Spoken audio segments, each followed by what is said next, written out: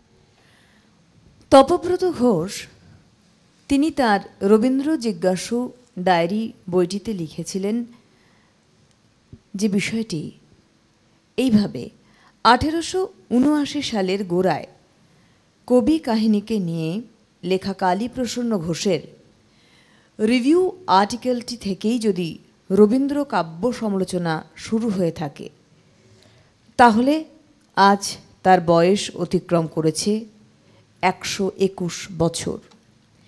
এই একশো একুশ বছরের যে ইতিহাস, সে ইতিহাসে আমরা সবচেয়ে গুরুত্বপূর্ণ দুটি ঘটনা ঘটেছে প্রায় পঞ্চাশ বছরের ব্যবধানে। প্রথমটি হচ্ছে উনিশশো বিরানব্বই সালে অজিত কুমার চক্রবর্তীর রবীন্দ্রনাথ বইটির প্রকাশ, আর দ্বিতীয়টি হচ্ছে উনিশশো বাষট্টি সালের পঁচিশে বৈশাখ জগদীশ ভট্টাচার্যের কবি মানসী বইটির জীবন ভাষ্য খণ্ডের প্রকাশ। কবি মানসী একদিন আমাদের প্রথাজীর্ণ রবীন্দ্রবোধের ভিত্তি শুদ্ধ কাঁপিয়ে দিয়েছিল কথা যেমন ঠিক, তেমনি এ কথাও আজ বুঝে নেওয়ার সময় হয়ে এসেছে যে কবি মানুষের এই অপরত্বই তার সম্বন্ধে শেষ সত্য নয়। ইতিহাসে কোনো কিছুই শূন্য থেকে গজায় না। তার একটা পূর্ব পরম্পরা যত অস্পষ্টই হোক থেকে যায়। বস্তুত বিংশ শতাব্দীর সূচনা মুহূর্তেই কবি মানসীর পূর্বাভাস দিয়েছিলেন ব্রহ্মবান্ধব উপাধ্যায়। আসলে কবি মানুষী মানে শুধু কাদম্বরী দেবী নয়। কবি মানসী মানে রবীন্দ্র বিদ্যার একটি স্বতন্ত্র ও সুসম্পূর্ণ ডিসিপ্লিন। এই কথাটি তপব্রত ঘোষ লিখেছিলেন কবি মানসী অর্থাৎ জগদীশ ভট্টাচার্যের এই লেখাকে কেন্দ্র করে, এই বইটিকে কেন্দ্র করে, যেখানে রবীন্দ্রনাথকে আমরা অন্যভাবে পাই যেভাবে রবীন্দ্রনাথকে আমরা দেখে এসছি, সেই ধারা ভেঙে কবি মানসীতে রবীন্দ্রনাথের আরেকটি রূপ তুলে ধরেছিলেন স্বয়ং জগদীশ ভট্টাচার্য। চলব আমাদের তথ্য নিয়ে। তবে অবশ্যই আজকে কিন্তু আমাদের যে তথ্য রয়েছে, রবীন্দ্রনাথের সঙ্গে যুক্ত সেই সমস্ত মানুষ, সেই সমস্ত মনীষীরা, যাদের থেকে আমরা অনেক কিছু পেয়েছি আরও অনেক জানতে পেরেছি গুরুদেব সম্বন্ধে। তার জন্য আমাদের এই প্রতিদিনের রবীন্দ্রনাথ অনুষ্ঠানে সে মনীষীদেরও বারবার স্মরণে আনা গুরুদেবের মাধ্যম দিয়ে আরও তাদেরকে স্মরণ করার সম্মান জানানো। তবে আজকে কিন্তু তার সাথে সাথে বলব, যেহেতু আকাশে আগমনের বার্তা, তাই দুয়ে মিলে আমাদের পথ চলা আজকের এই অনুষ্ঠানে। একদমই তো কি বলব, যে আনন্দ বার্তা তো ভেসে ভেসে আসছে। মায়ের আগমনীর বার্তার একটা আভাস আমরা পাই, তার আশার চরণ ধ্বনি আমরা পাই। এরপর এরপর আমাদের সকলের অন্তর আত্মা অন্তর্চক্ষু যা ছুটে চলে সেইখানে যেখানে সেই মাকে দেখতে পাওয়ার একটা আকুল আবেদন, আনন্দ সবটাই মনের মধ্যে থেকে। তো সেটা একটু গানে বলি।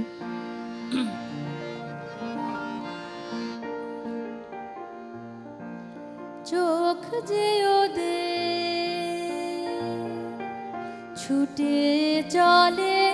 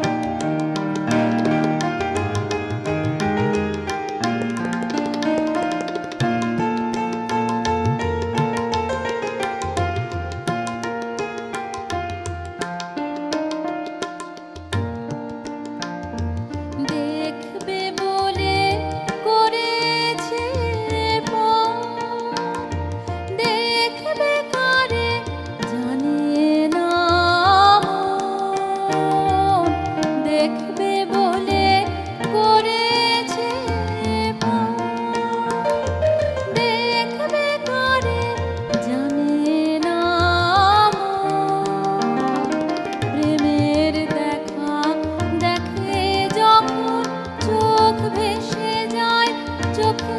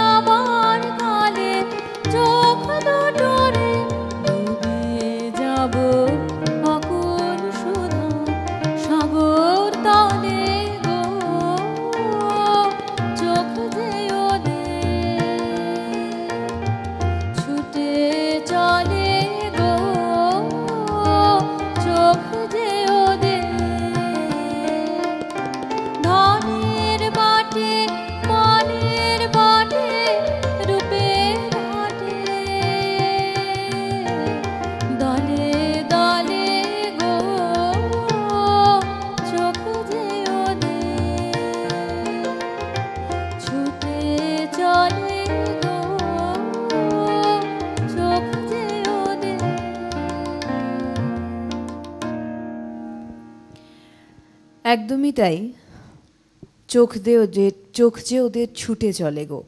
ঠিক এভাবেই অন্বেষণ করেছিলেন জগদীশ ভট্টাচার্য রবীন্দ্রনাথকে নতুনভাবে। যে কবি মানসীর কথা বলছিলাম। তার আগে বলি, উনিশশো উনচল্লিশ সালে বঙ্গবাসী কলেজে পাকাপাকিভাবে যোগ দেন জগদীশ ভট্টাচার্য। যদিও তখনও কিন্তু রবীন্দ্রনাথের সঙ্গে তার সেই যোগাযোগ ছিল।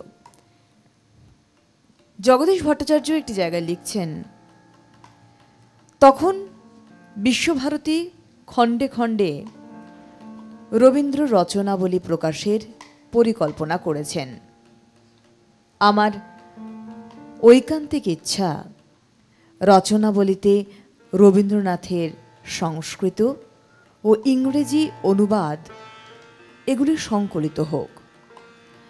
সংস্কৃতের সঙ্গে পালি প্রাকৃত, অপভ্রংশ ও অন্যান্য ভারতীয় ভাষা থেকে অনুবাদগুলি থাকবে। তাছাড়া ইংরেজি থেকে অনুদিত কবিতাগুলিও পৃথকভাবে সংকলিত হবে। চিঠিতে কবিকে আমার ইচ্ছার কথা জানালাম। এই চিঠিটা জগদীশ ভট্টাচার্য লিখেছিলেন রবীন্দ্রনাথকে। যে একটু আগে বলছিলাম তিনি বঙ্গবাসী কলেজে যোগদান যখন করেছিলেন উনিশশো উনচল্লিশ সালে, তখনও কিন্তু রবীন্দ্রনাথের সঙ্গে তার সুসম্পর্ক ছিল, যোগাযোগ ছিল। সেই সূত্র ধরেই কবিকে তিনি চিঠিটি লিখেছিলেন। উনিশশো উনচল্লিশ সালেই তিরিশে সেপ্টেম্বর, মংপু থেকে রবীন্দ্রনাথ, জগদীশ ভট্টাচার্যের এই চিঠির উত্তর দিয়েছিলেন। একটা কথা অবশ্যই বলতে হয় গুরুদেব রবীন্দ্রনাথের সংস্পর্শে যারা এসেছেন, প্রত্যেকের সঙ্গে যেমন রবীন্দ্রনাথের সুব্যবহার বরাবর বজায় ছিল এবং তিনি সেটিকে শেষ বয়স পর্যন্ত নিয়ে যাওয়ার চেষ্টা করেছিলেন। এটি একটা বিশাল বড় প্রাপ্তি বলা যেতে পারে। আজকেও আমরা শুধুমাত্র তার সৃষ্টি নিয়ে আলোচনা করছি তা নয়, আজকেও আমরা বলতে পারি তার সেই উদার মানসিকতা সকলকে গ্রহণ করার মানসিকতা, সেই বিস্তৃত মন, সেগুলো নিয়েও কিন্তু আমরা আলোচনা করি। বা আমাদের স্মরণে আমরা নিয়ে আসি যা আগামী দিনে আমাদের এগিয়ে যেতে অনেকটাই সাহায্য করতে পারে। চলবো আমাদের আজকের চলন, অর্থাৎ তথ্য নিয়ে আবার গানের পর।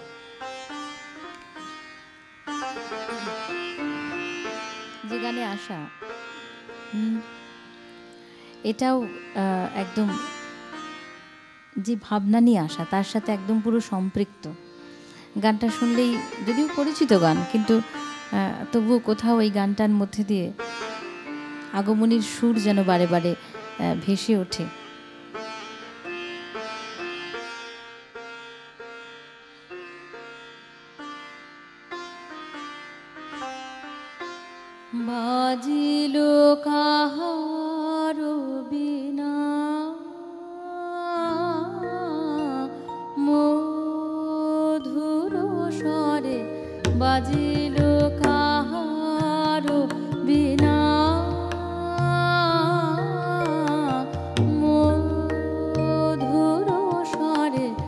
বাজিল কাহারো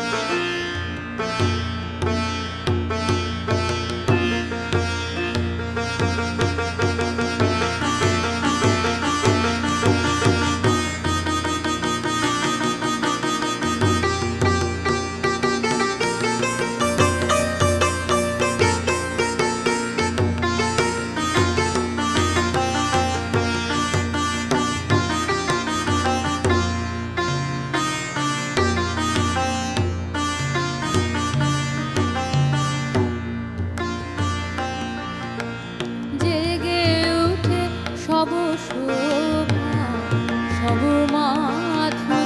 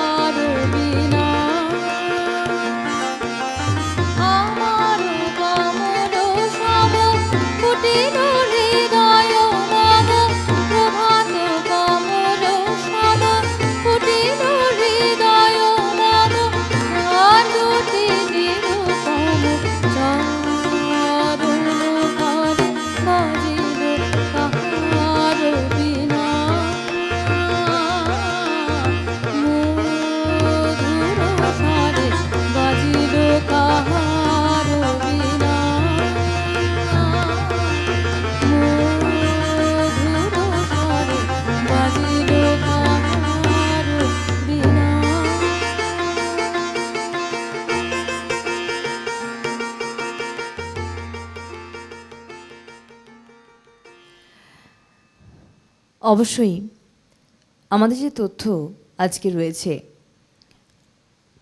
রবীন্দ্রপ্রিয় জগদীশ ভট্টাচার্য এবং রবীন্দ্রনাথ সে তথ্যে ফিরব। তার আগে অবশ্যই আমাদের বলতে হবে, আমাদের প্রতিদিনের রবীন্দ্রনাথ এই অনুষ্ঠানে আপনাদের ভালোবাসা যে জায়গা, প্রথমত বলি যে পিয়ালির আজকে যে গানের নির্বাচন, একেবারেই সামনে আগমনী বার্তা, সে আগমনী বার্তাকে নিয়ে পিয়ালি এগোচ্ছে আজকে অনুষ্ঠানে। এবং ভীষণ ভালো পিয়ালিকে এগিয়ে নিয়ে যাচ্ছে মানুষ তার অবশ্যই অভিজিৎদা মানে বলতে হবেই হবে যে আজকে অনুষ্ঠান আজকে কেন? আমাদের এই অনুষ্ঠানকে সুন্দরভাবে এগিয়ে নিয়ে যাওয়ার জন্য এই দুজন মানুষের অনবদ্য যোগদান সত্যিই আমাদের অনুষ্ঠানের মাত্রা অন্যদিকে নিয়ে যায়। তবে যে তথ্যে আমরা ছিলাম সেখানে একটা কথা বলতেই হয় জগদীশ ভট্টাচার্য রবীন্দ্র অনুরাগী ছিলেন ঠিকই। কারণ তিনি রবীন্দ্র সাহিত্যের প্রতি তার সেই ভালোবাসা জন্মেছিল, তার সেই অনুরাগ জন্মেছিল কিন্তু আচার্য শ্যামাপদ চক্রবর্তীর হাত ধরে। কারণ আচার্য শ্যামাপদ চক্রবর্তী ছিলেন জগদীশ ভট্টাচার্যের শিক্ষক। এবং তার কাছ থেকেই পুঙ্খানুপুঙ্খভাবে এই রবীন্দ্র সাহিত্য সম্বন্ধে জানা, এই রবীন্দ্র সাহিত্যকে চেনা এবং শুধু জানা চেনার মধ্যেই সীমাবদ্ধ না থেকে সেই সাহিত্যের মধ্যে ডুবে যাওয়া, তাকে ভালোবাসা। সেটা জগদীশ ভট্টাচার্যকে একটি জীবনের অন্যতম মাত্রায় নিয়ে যায়, যার জন্যই তিনি রবীন্দ্রনাথের সেই কবিতাগুলোকে খুঁজে বার করেন, সেই অন্বেষণ তিনি করেন তা সেই নেশা তাকে চেপে ধরে, যেটি সত্যেন্দ্রনাথ ঠাকুর সম্পাদিত নবরত্নমালা থেকে, যেগুলো স্বাক্ষরবিহীন ছিল। কবিতাগুলিকে বার করে তিনি অত বড় একটি প্রবন্ধ রচনা করলেন নবরত্নমালার রবীন্দ্রনাথের কবিতা বলে, যেটি রবীন্দ্রনাথ এত সুন্দরভাবে গ্রহণ করেছিলেন এবং তার বিস্ময়কে তিনি চেপে রাখতে পারেননি।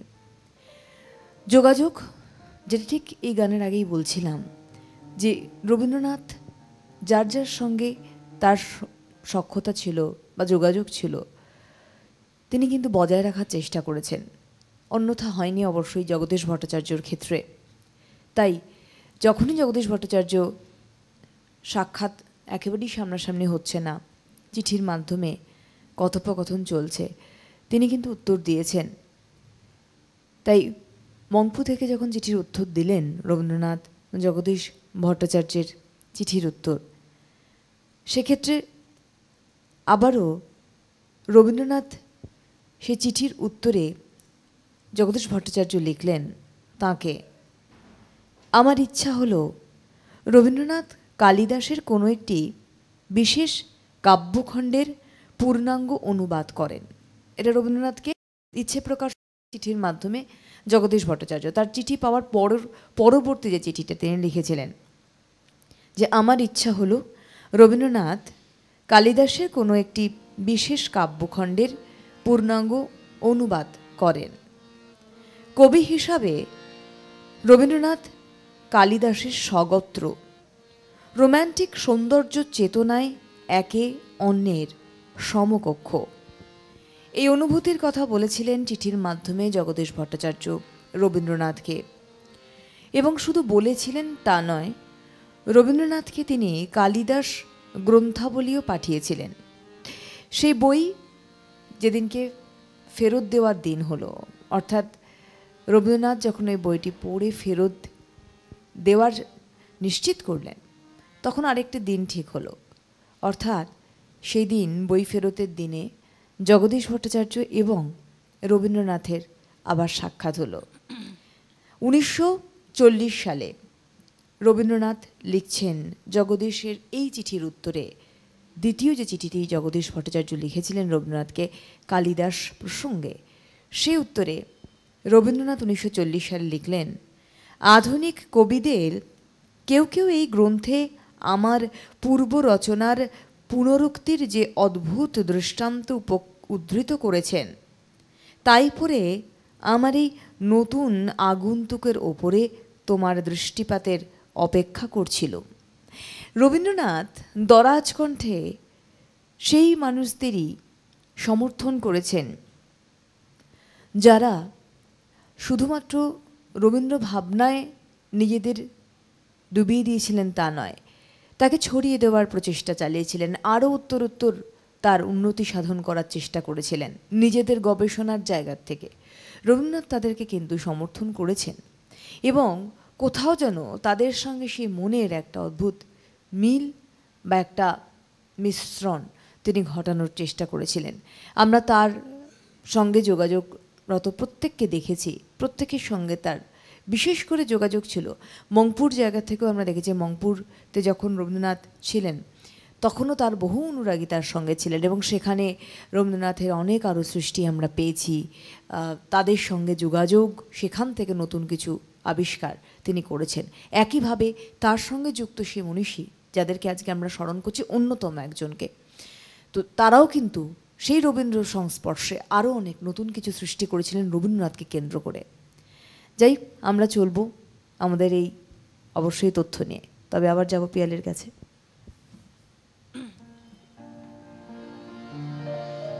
পরের যে গানটায় আসা সেটা একদম অন্যরকম একটা ভাবনা দিয়ে।